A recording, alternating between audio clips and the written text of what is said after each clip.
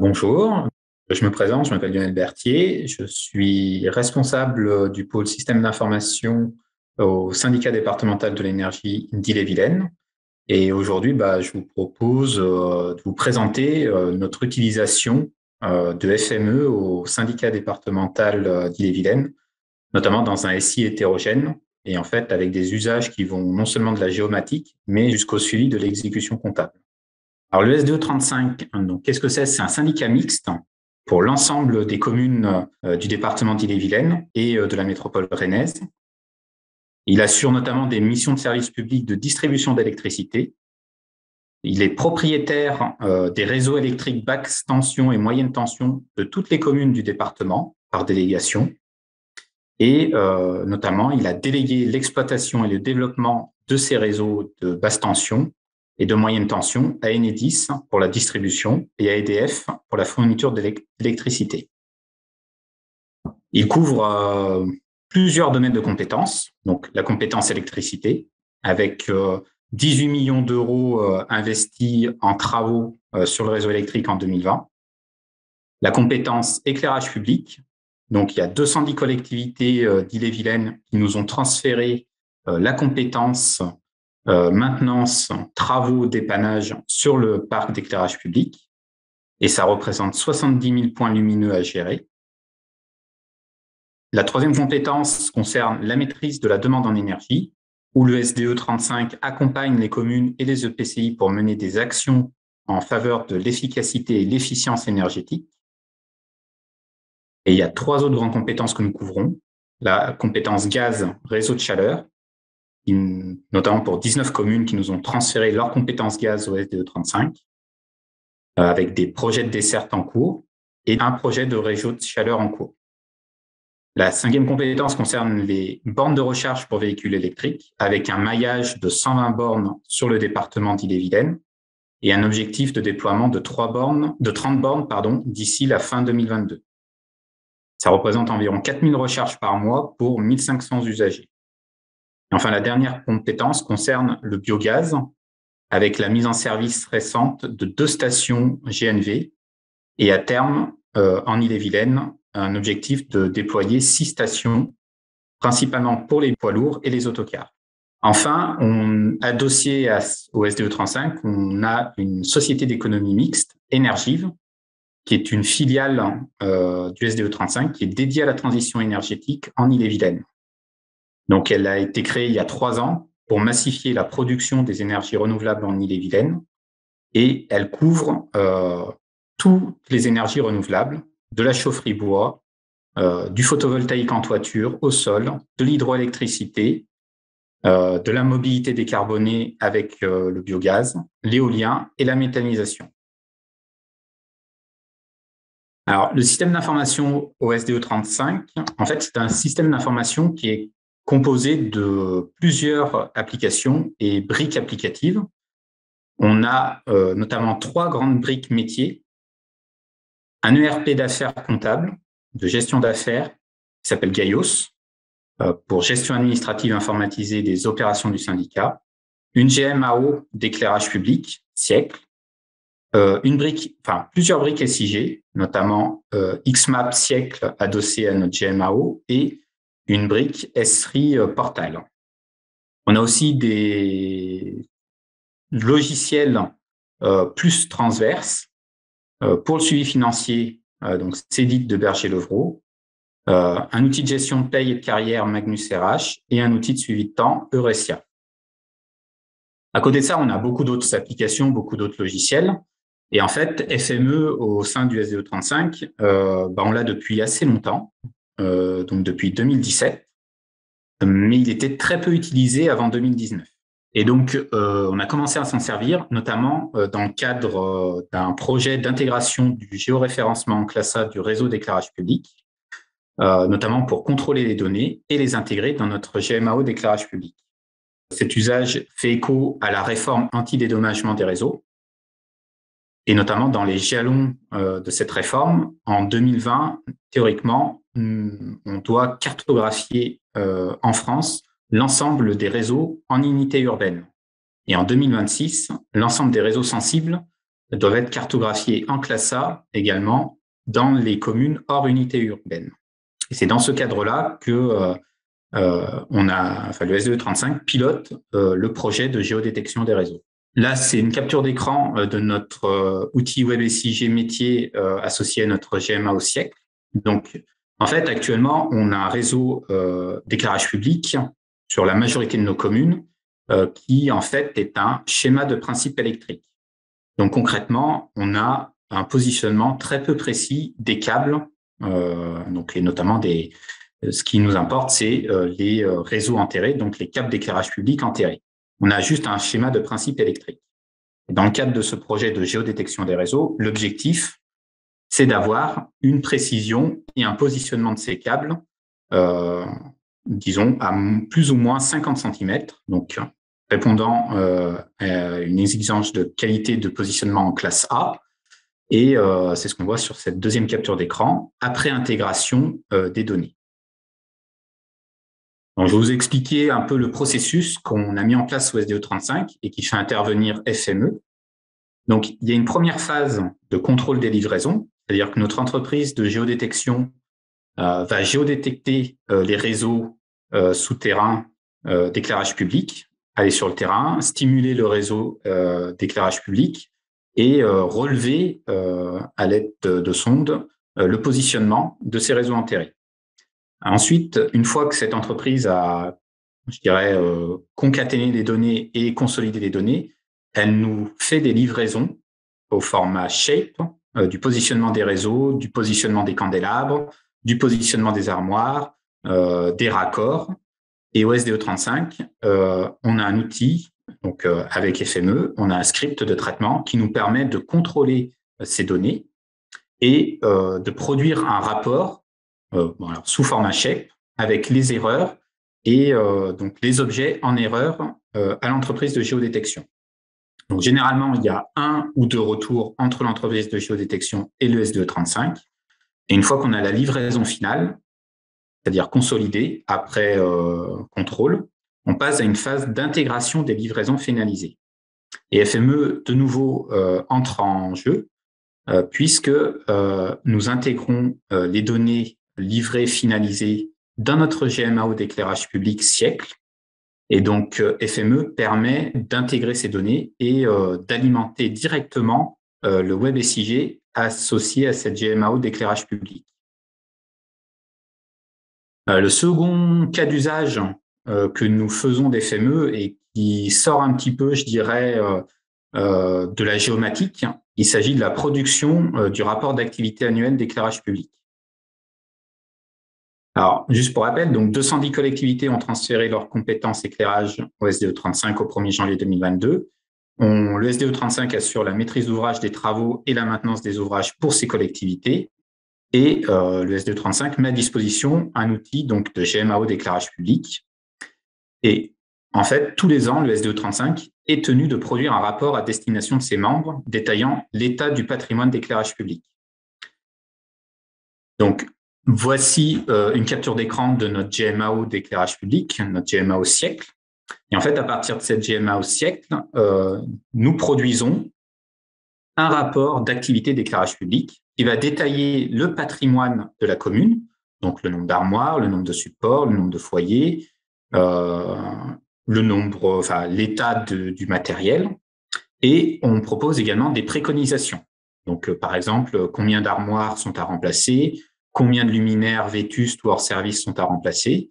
Et dans ce cadre-là, on fait non seulement en plus de préconisations, on fait un chiffrage et euh, des potentielles économies, enfin, on chiffre les potentielles économies euh, concernant la rénovation du matériel vétuste. Donc, une économie euh, de, sur les factures d'électricité, économie également en termes de CO2 euh, en kilogrammes par an. Et donc, pour produire ce rapport d'activité, en fait, euh, on s'appuie sur notre GMAO d'éclairage public siècle et on fait appel à une brique qui s'appelle Jasper Server qui nous permet de créer des, un template de rapport. Et pour industrialiser la production de ce rapport, on utilise FME qui va non seulement se connecter à notre GMAO d'éclairage public pour récupérer par exemple tout l'ensemble de nos bénéficiaires et qui va se connecter à Jasper Report euh, serveur via une API REST pour euh, aspirer euh, le template rapport et le remplir.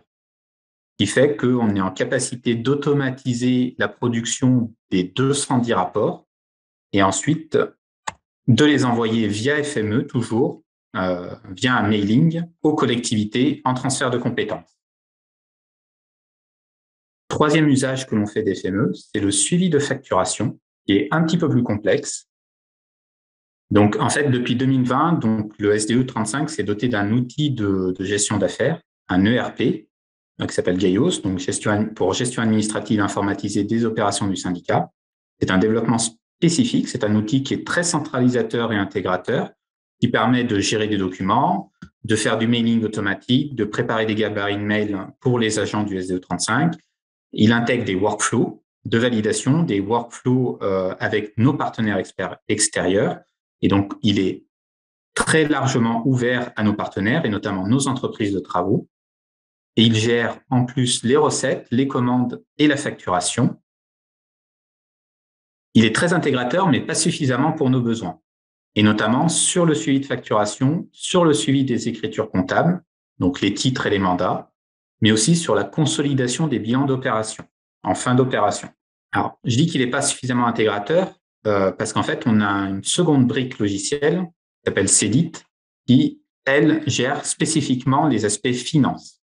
Et donc, c'est une brique dont on ne peut pas se passer et qui est très difficile, euh, je dirais, à développer et à intégrer euh, de facto dans un ERP. Et donc, on est obligé de s'appuyer sur Cedit. Le problème, c'est que en standard, les web services de Cedit ne répondent pas suffisamment à nos besoins. Et c'est pour ça qu'on a besoin de renforcer ce lien et d'intégrer majoritairement, de faire descendre des éléments de Cedit dans notre ERP de gestion d'affaires. Voici euh, une capture d'écran de notre ERP euh, de gestion d'affaires et notamment euh, la partie tableau de bord. Donc, très concrètement, là, c'est sans doute l'un des tableaux de bord les plus complexes euh, où on va retrouver euh, notamment euh, par affaire le des montants, des éléments financiers, des éléments de suivi de facturation. Et ces éléments de suivi de facturation proviennent notamment de CEDIT, de notre outil de gestion financière. Et ces éléments de cet outil de gestion financière sont descendus via FME. Je vais vous expliquer comment. C'est un schéma qui est peut-être un petit peu complexe, mais en fait, euh, concrètement, euh, on a nos entreprises de travaux, prestataires du SDE 35, qui euh, déposent des factures via Chorus et qui sont intégrées dans Cedit. Donc, c'est la brique en rouge Oracle Berger-Levrault. Et en parallèle, elles déposent sur notre ERP de gestion d'affaires euh, des, des décomptes, des devis détaillés qui sont validés par le conducteur d'opération et euh, des chargés de gestion administrative et financière. Donc, euh, c'est là qu'on doit faire communiquer les deux briques, puisque nos conducteurs d'opération et nos chargés de gestion administrative et financière ont besoin d'avoir une visu sur l'avancement de la facturation qui est réalisée dans CEDIT et les décomptes validés par les conducteurs d'opération. Et donc, c'est là que FME intervient, c'est-à-dire qu'on se connecte directement à la base Oracle de Cedit. On récupère toutes les écritures à des intervalles de temps réguliers, grosso modo tous les jours à 19 heures, et on descend toute la compta dans notre ERP de gestion d'affaires.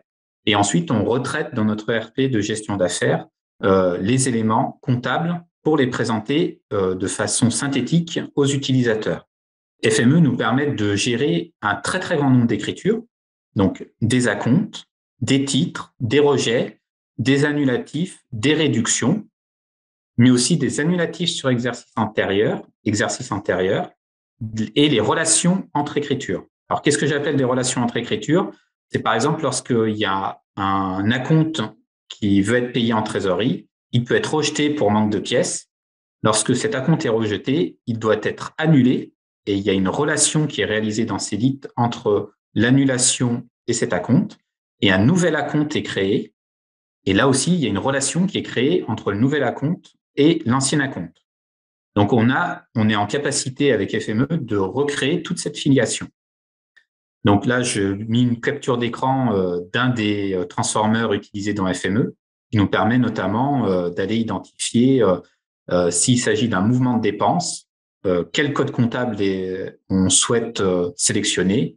2315, par exemple, c'est code de travaux. Donc, c'est des, imputations comptables liées aux travaux. Et donc, euh, FME nous permet de gérer toutes ces écritures et de récupérer toutes ces écritures pour les descendre dans notre outil de, RP.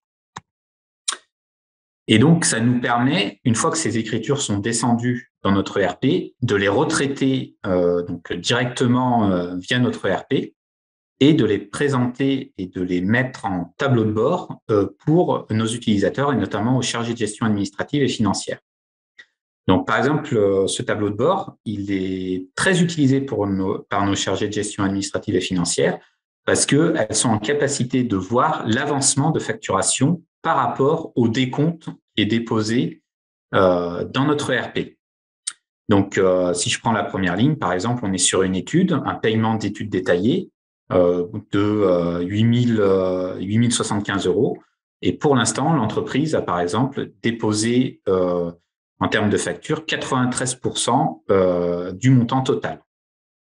Donc, il y a encore un reste à payer de 486 euros TTC. Et ça leur permet également de vérifier si elles n'ont pas fait d'erreur, les chargés de gestion administrative et financière n'ont pas fait d'erreur, euh, puisque ça scanne tous les écarts.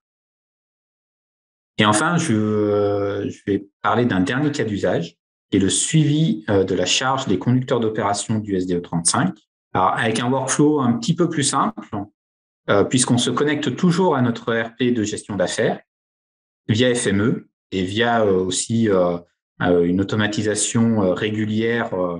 c'est toutes les semaines qu'on fait tourner un script FME en tâches planifiées et euh, qui va alimenter une géodatabase SRI et croiser euh, donc euh, des données non spatiales avec des données spatiales pour produire un tableau de bord, je dirais un petit peu plus un peu plus sympathique pour les utilisateurs à utiliser et plus visuel que ce qu'on peut offrir avec notre ERP de gestion d'affaires. Donc voilà le type de tableau de bord qu'on est en capacité de produire et en fait les données euh, qu'on présente ici. D'ailleurs, il y a très peu de données géographiques. Alors, il y a un accès à la carte via euh, ce tableau de bord, mais la majorité des données proviennent de notre ERP de gestion d'affaires et on utilise la brique Operation Dashboard euh, de Portal pour présenter ces données et mettre en place plus d'interactivité. Et les données qui sont remontées dans ce tableau de bord sont remontées via FME, on va dire de façon assez souple. Alors, en conclusion, ce que nous apporte FME, c'est la facilité de mise en œuvre des traitements, la facilité de connexion à diverses sources de données hétérogènes, la flexibilité dans le paramétrage, mais aussi, je dirais, dans le test, puisqu'il nous permet de tester euh, pas mal de, je dirais, de, euh, de méthodes euh, d'agrégation de données, de méthodes de traitement de données, et de façon très très simple, sans codage, euh, ce que nous apporte également FME, c'est cet interfaçage et ce lien entre les différentes briques du SI et la souplesse, hein, je dirais, pour faire circuler l'information au sein du SDE35 et entre ces différentes briques euh, du système d'information, ce qui nous a permis quand même de fiabiliser nos processus et notamment, je dirais, nos processus comptables et de vérification comptable et qui a fait gagner beaucoup de temps euh, à nos chargés de gestion administrative et financière. Et en fait, à l'avenir, au SDE35, on va continuer, je dirais, à fiabiliser nos processus de planification euh, des traitements FME, puisqu'aujourd'hui, on se sert des FME desktop avec des tâches planifiées sur un serveur. Euh, donc, on a besoin de fiabiliser ce processus-là et d'améliorer l'enchaînement des traitements pour une meilleure généricité une meilleure industrialisation euh, je dirais, des processus euh, d'échange de, données entre les différentes briques de notre système d'information. Et c'est pour ça qu'à l'avenir, on va acquérir, enfin, qu'on a déjà commencé à déployer FME Server au SDE35. Je vous remercie pour votre attention et je me tiens à votre disposition pour les questions-réponses. Merci beaucoup, Monsieur Berthier. C'était très, très, très intéressant. Euh, alors, on a quelques questions pour vous, même pas mal. Euh, bon, la première, assez, assez brute. Y a-t-il une estimation de gain de temps ou de ressources depuis la mise en place de FME en 2017 ou plutôt 2019 J'ai compris que l'adoption a été un, peu plus tardive que l'acquisition. Euh, bah on n'a pas augmenté nos ressources humaines. on va dire qu'on est resté stable. Là où on, je dirais que pas mal de syndicats, euh, pour l'instant, ont plutôt euh, renforcé leurs équipes. Nous, on a réussi à, continuer à travailler sur euh, le même niveau euh, de ressources humaines. Alors qu'on a eu une activité qui a très fortement augmenté et notamment liée, je dirais, à l'intégration de la géodétection, qui, a, était une activité assez importante. Alors, j'ai une autre question sur justement les ressources humaines. Vous avez une, euh, une double casquette. Là, moi, c'est moi qui le, qui le rajoute, euh, puisque vous êtes à la fois euh, des DSI, donc responsable des systèmes d'information, responsable des systèmes d'information géographiques. Donc, qui s'occupe des, des développements euh, chez vous dans, dans l'équipe? Est-ce que c'est l'équipe de géomaticiens ou est-ce que vous avez euh, Alors pour l'instant, de... notre équipe elle est composée d'une géomaticienne et euh, de moi, en fait, responsable. La majorité des développements sur FME sont réalisés par euh, moi-même et un petit peu par ma technicienne, qui prend de plus en plus d'autonomie sur sur l'outil. Et effectivement, on a on est assez peu nombreux à l'utiliser. On est deux, quasiment deux ou trois. Et majoritairement, des gros développements sont réalisés par moi-même. Euh, autre question, utilisez-vous FME pour l'intégration des mises à jour du PCRS vecteur? Alors non, euh, pour l'instant, on s'en sert euh, uniquement euh, pour la partie réseau. Euh, pour la partie PCRS vecteur, euh, on, a, on est en train de mettre en place une plateforme de diffusion et de mise à jour du PCRS, mais qui va intégrer de façon, je dirais, native un outil de contrôle et d'intégration des données PCRS vecteur, mais qui s'appuie euh, en partie sur, sur FME, qui est intégré à la plateforme. Et, et euh, plateforme qui sera mise en place par, par le syndicat? Par le syndicat, ou, ou, oui. Par le département, par le syndicat. Euh, la production des rapports est-elle automatisée? Une génération à chaque semaine ou mois avec FME serveur, par exemple? Alors, pour l'instant, que... en fait, c'est un rapport d'activité annuel euh, mais rien ne nous empêcherait de l'automatiser et de l'envoyer toutes les semaines, en fait. C'est qu'aujourd'hui, la périodicité, on va dire, le contrat qu'on a avec nos collectivités et nos bénéficiaires, c'est tous les ans. C'est tous les ans. Mais rien ne nous empêcherait de, l'automatiser euh, à une fréquence euh, plus importante. FME est habituellement utilisé pour transformer des données géographiques. Pourquoi avoir choisi cet outil plutôt qu'un autre, Talent par exemple, pour le suivi de la facturation alors, je dirais que bah, je viens du monde de la géomatique et on va dire un petit peu par extension, comme je connais assez bien euh, l'outil, euh, je dirais que sa capacité à, se connecter aux bases de données et la facilité pour mettre en œuvre, enfin, je dirais des traitements, des contrôles, euh, de la manipulation de données, fait que j'ai un petit peu dévoyé son usage et qui, en fait, bah, je trouve est beaucoup plus satisfaisant en termes d'ergonomie, d'utilisation et de rapidité que Talend. Euh, pour se connecter à des bases de données, je le trouve beaucoup plus, plus souple, plus, euh, plus versatile en fait que Talend. Ok, bon, j'avais d'autres questions un peu, du même type. Euh, autre question, j'espère qu'il ne sera pas trop polémique. Berger Levrault n'a-t-il pas fait trop de difficultés pour vous laisser l'accès à la base Oracle Alors En fait, dans nos cahiers des charges, on exige d'avoir les accès aux bases de données. Donc, euh, c'est une. Alors, déjà, notre, outil est hébergé chez nous. Enfin, Cédit est hébergé chez nous et pas en SaaS chez Berger Levrault. Et euh, c'est une exigence euh, dans tous nos cahiers des charges, c'est qu'on veut avoir accès euh, à la base de données euh, de l'outil. Et en sachant qu'on accède à la base de données uniquement en lecture. c'est que de la lecture qu'on réalise sur, sur la base orale. Merci beaucoup, Monsieur Berthier.